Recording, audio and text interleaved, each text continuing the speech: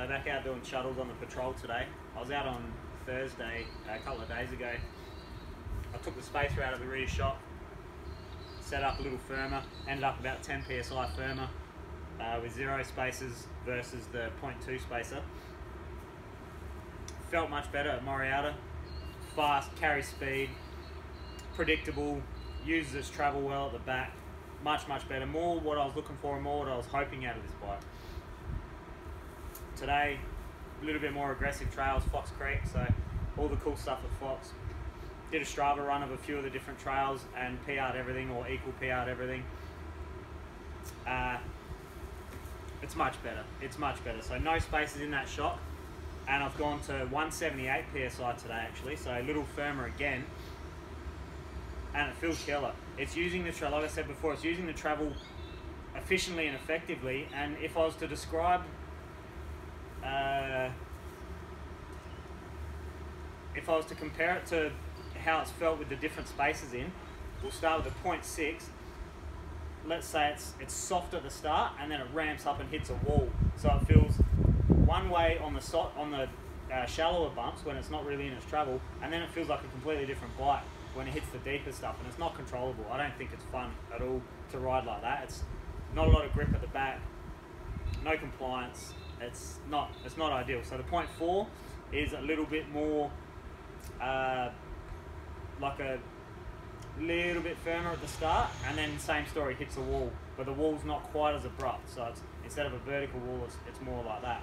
And then the point two spacer, it starts a little more, uh, yeah, a little bit more rampy at the start again, and then it ramps up into a bit of a wall. You know, not too bad. It's it's not really a wall, but I was finding I had to run it too soft at the start to, for it to not be choppy in the deep, repetitive, hard, high-speed hits.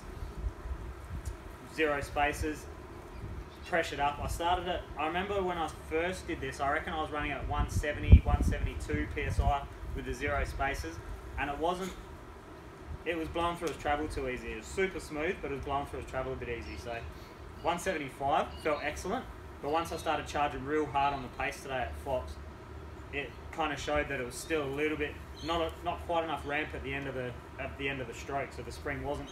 Uh, it was going through the whole travel before, um, yeah, just in the big hits. So there was the potential of bottoming out, and it just wasn't as efficient, quite as efficient as I like.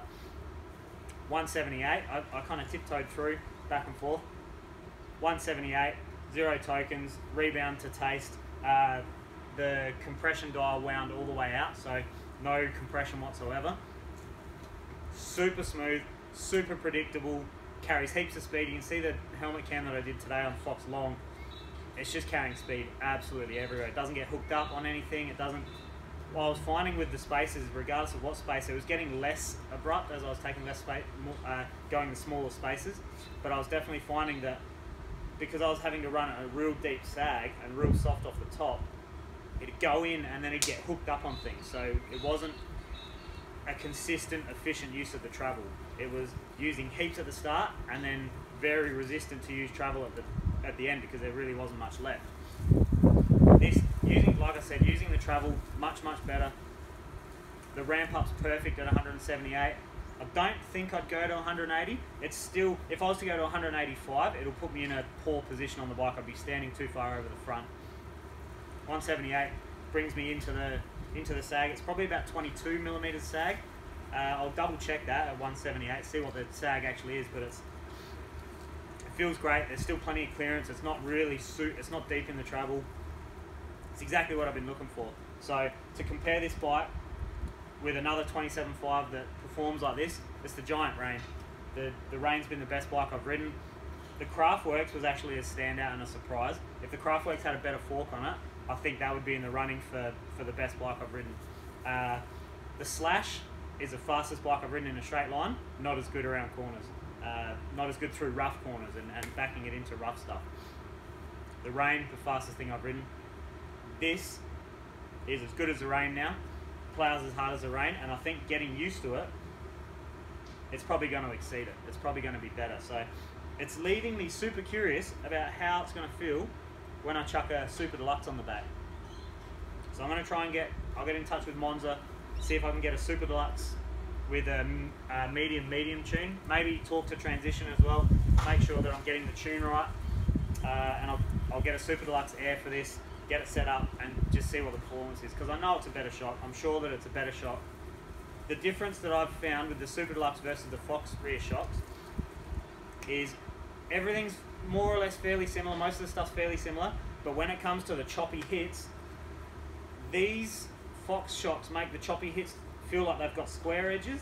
The Super Deluxe makes it feel like it's got round edges, so it's just a little friendlier, and it, it just gives me more confidence to hold it, you know, start with the brakes, hold it wide open, and really smash through rough stuff. So I'm curious to see how to feel with the Super Deluxe.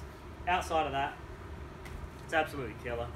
Rear shock's much better with no spacers. So if you're running one of these bikes, try it with no spacers. Go as stiff as you can go without losing your compliance or losing your geometry. And obviously rebound to taste. And if you've got the compression adjustment, wind it all the way open. I did play around with going back and forth with the uh, compression, but any click I did just made a little more choppy. Another click, little more choppy again, and I had to come away from that. So zero clicks, it's completely open against the wall of open, like against the all the way open, and it's just it's just excellent. So if you asked me two weeks ago what this bike, what I thought of this bike, I would have said it's good, but the rear end doesn't perform very well. The rear shock lets it down. That's what I've been saying pretty much from the start. This rear shock lets it down.